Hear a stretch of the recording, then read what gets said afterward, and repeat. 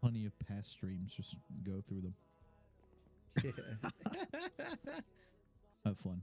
You know, dude, if your um your channel Akin Moment works, you can monetize it. I don't mind. You know, you can take any clip you want, monetize it all you want. Take it.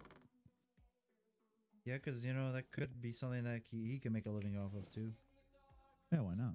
I've seen people who actually make a opportunity, take it, living off of uh, other channels, Yeah, dude. as long as they get permission, of course. No harm.